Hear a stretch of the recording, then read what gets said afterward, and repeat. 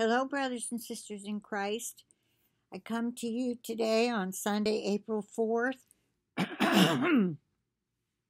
Sorry. Uh, it's 9:22 a.m. and I found in comments thankfully just an hour ago under um, one of my videos from the first. I'm sorry I haven't gotten to your comments. I was in bed all day yesterday, so I wasn't able. I don't remember what I did the second. I just, uh, I think I was starting to get too tired. It was just exhaustion. No, no big deal. Uh, okay, so uh, a person who goes by one last chance. Um, she is asking for our help. She said, Jeannie, I need your help. I am really sick. I couldn't think of who else to ask but you. Will you call prayer for me? I have a horrible kidney infection that will not go away. I don't want to go back to the hospital. I don't want to be tested for COVID and have a Q-tip stuck in my brain. Yeah, I know how you feel, sweetie.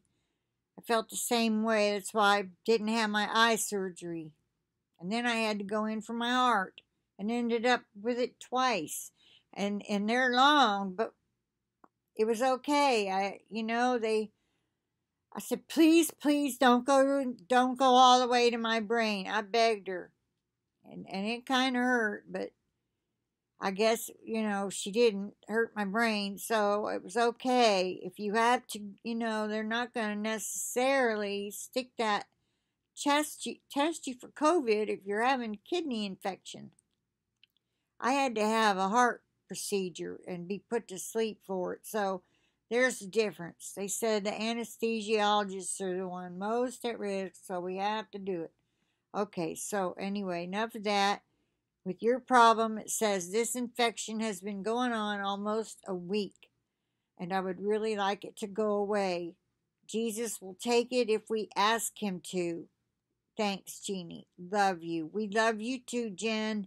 And I do pray right now that Jesus would reach down and touch you um, on your back and take that away.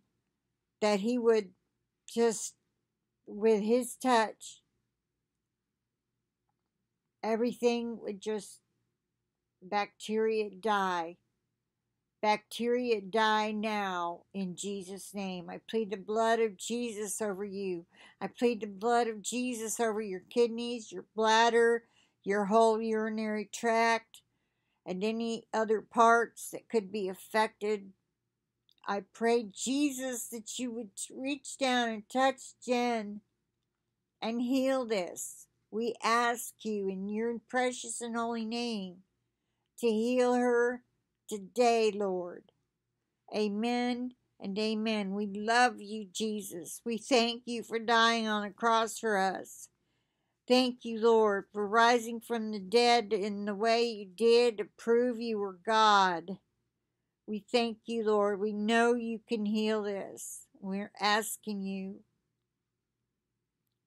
And I do thank you so much for going through what you did for us. In Jesus' name I pray. Amen and amen. Okay, so I'll put this up and everybody please pray for Jen so she doesn't have to go to the hospital. We know the Lord is awesome. But Jen, you need to know your kidneys cannot, you, don't want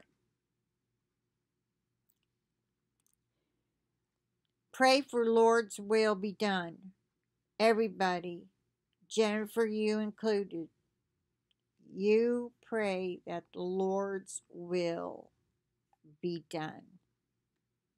Okay? I'll end it here. I plead the blood of Jesus over this video and over each and every single one of us, our devices, and our internet connections. And with that, I'll say bye for now. I'll talk to you later. Y'all have a beautiful resurrection day.